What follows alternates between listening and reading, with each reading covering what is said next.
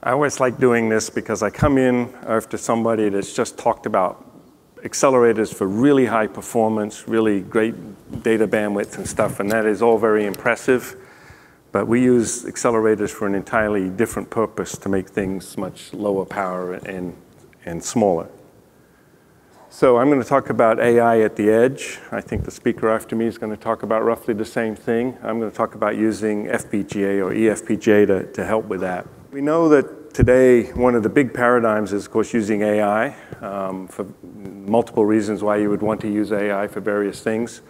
But if you look at a typical case of a dumb sensor, which is what you had in the past, all the red dots represent data you might be taking. You're, you're taking a measurement. Um, let's say I'm walking along and my wristwatch here is, is checking my accelerometer. It's taking lots of pieces of data. And every time I take a step, you get a meaningful event. That's the little piece of green in there.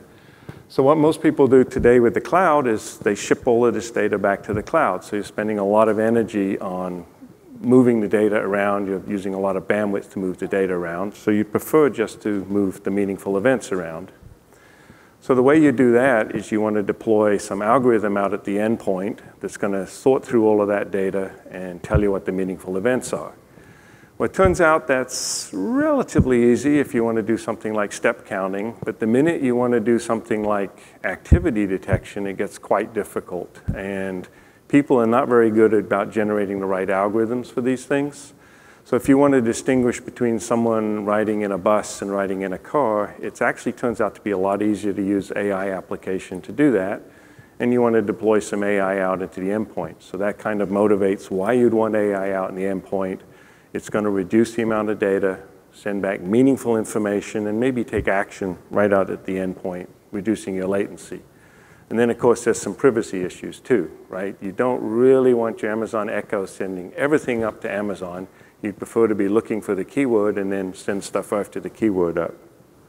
So the kind of devices that concern me are the resource-constrained devices. And um, just to give you an idea about that, we see people who want to use two AA cells to run some sensor for uh, maybe two years kind of thing.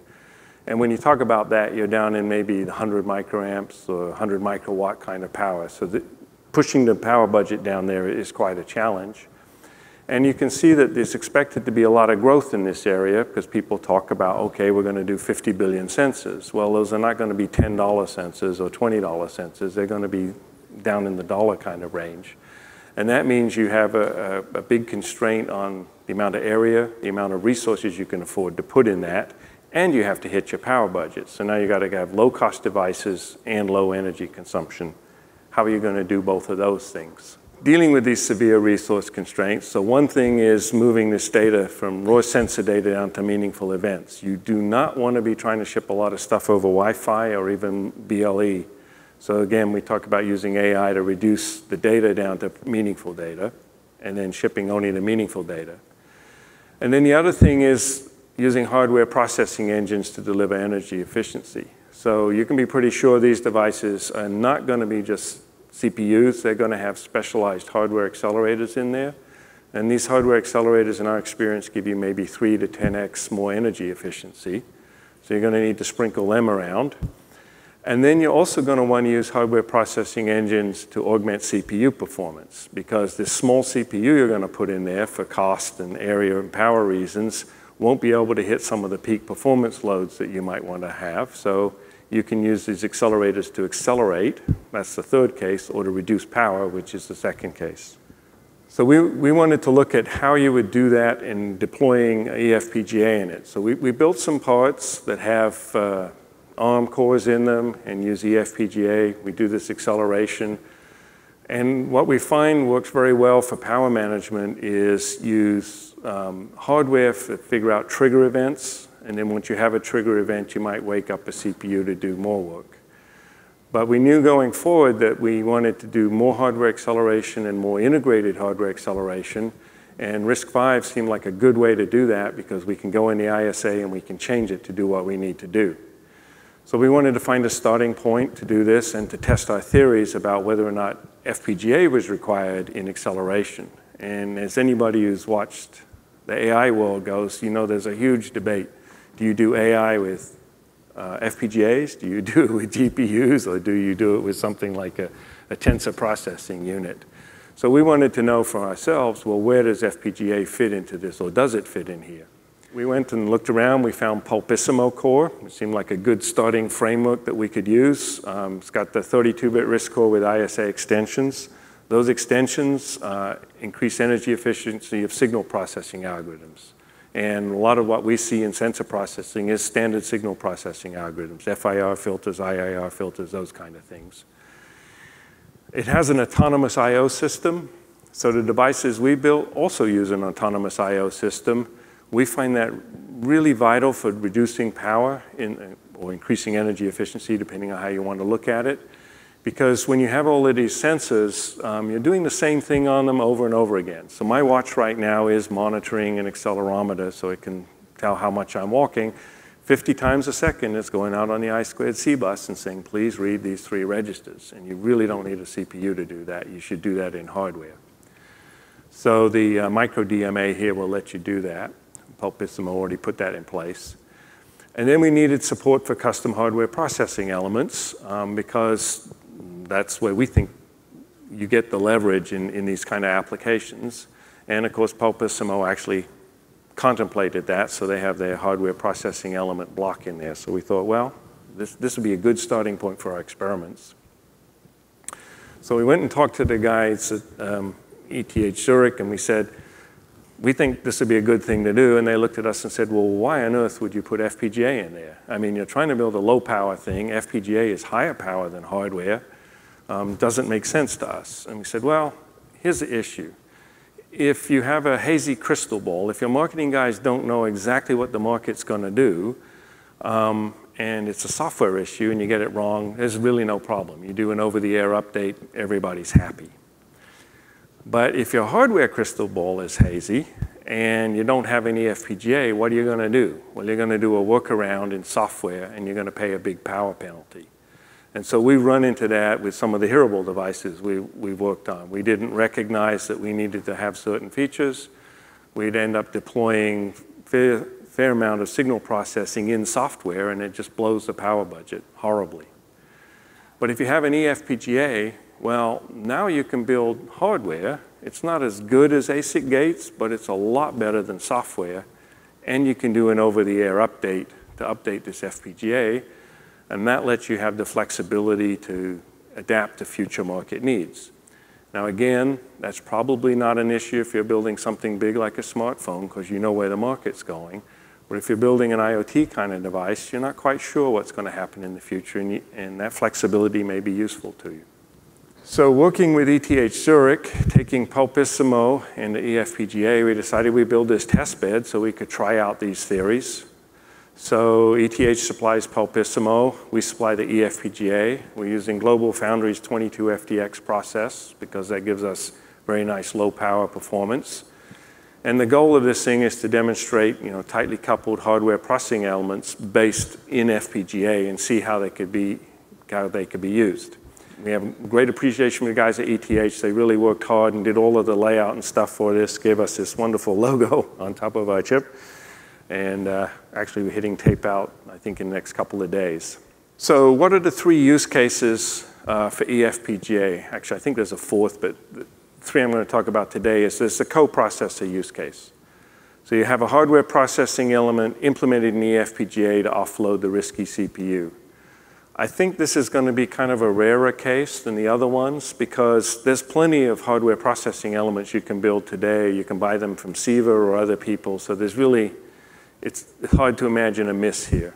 Um, there's also a preprocessor use case. Um, here, where the hardware processing element is inserted between the sensors and the, and the RISC-V CPU.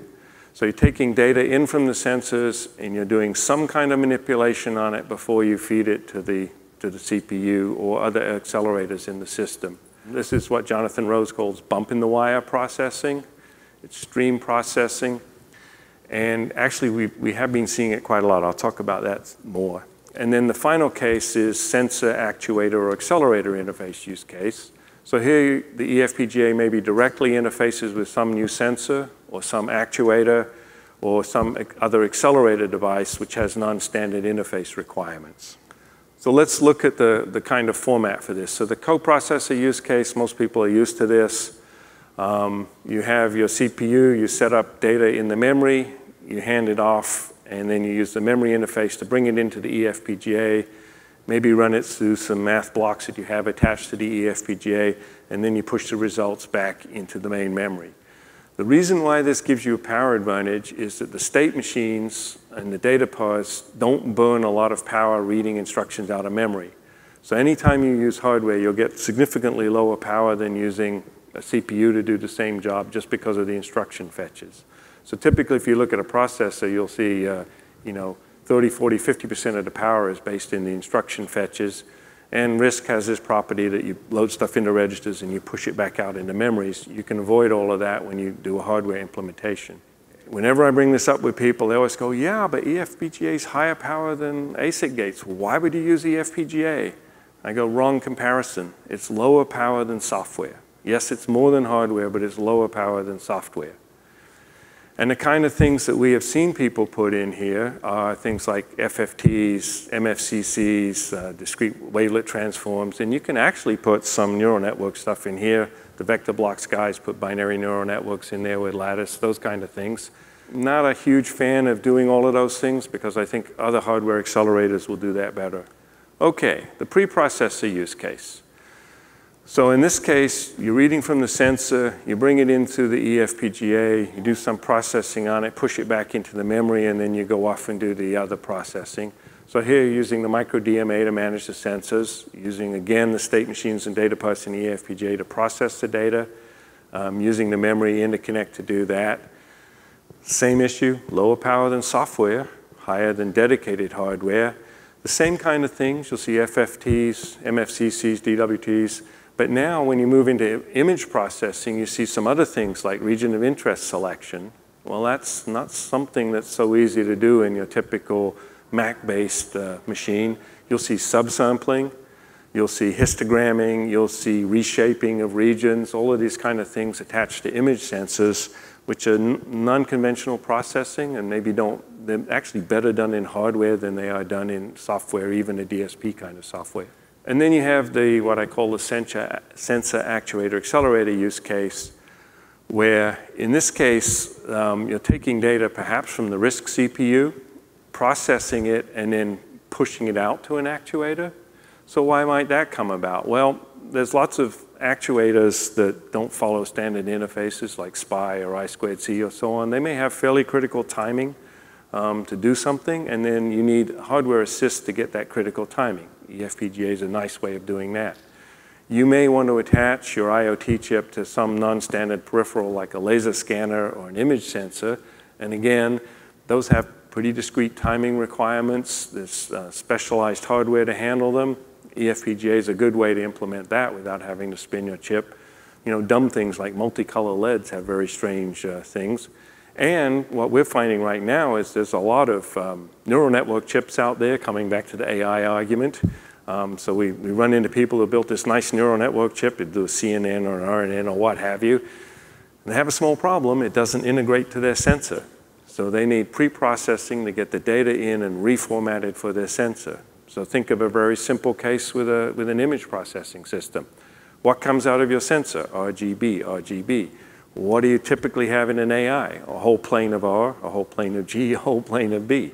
So you need to do that kind of transformation.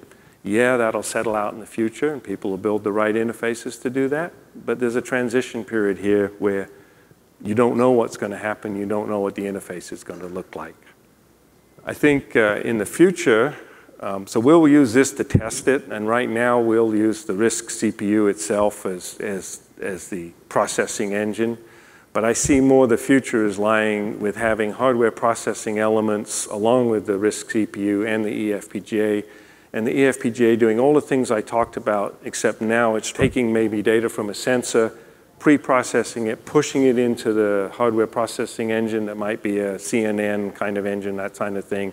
And then when meaningful events come out, then you go over to the RISC kind of CPU in order to, to act on those events. What I believe here, and I kind of show this in the diagram in the lower left, is that using eFPGA in there gives you the full flexibility space. So you have hardware processing engines. When you know what you need to do, build them in in hardware. It is the best way to do it. The trouble is that's all done pre-manufacturing. And once you've manufactured the thing, you don't get to change it.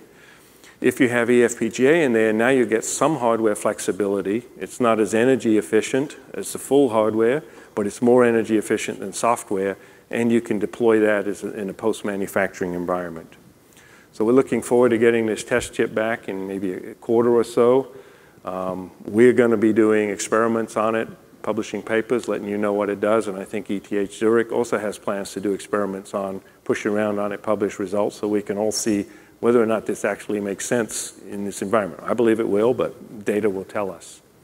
Um, there is one other form of acceleration I didn't talk about, which is one of the things that pushes us into the RISC-V, and that is um, instruction acceleration. Uh, you can extend the ISA on the RISC-V, as, as ETH Zurich did, to add in particular instructions to do things. We didn't try that in this case. The uh, Zurich guys are skeptical of it because the problem you have there is that the eFPGA, by definition, is slower than your hardware logic. So to do, you know, so this, this PULP core is closed at maybe 425 megahertz. The FPGA probably runs comfortably at 100, so you've got a four to one disparity. So you sort of say, well, that's not a good idea because I'm going to have to wait four clock cycles, waste four instructions in order to use eFPGA as an accelerator.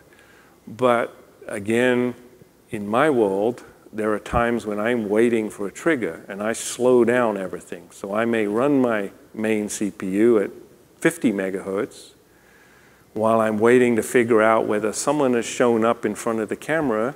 When someone shows up in front of the camera, I go, ooh, there's a face in front of the camera. Now I wake up, go to full performance and say, is that Tim in front of the camera? Do I want to turn on my computer or open my door? So in that mode where we're running at maybe 50 megahertz, then I think it is reasonable to use eFPGA as, a, as an instruction extension. That's something, though, that we'll have to do in, in a future experiment. Thank you. I hope this was helpful in a different direction than the, the previous really high performance. And I think you'll hear more about what you can do in these low power domains in the next speaker.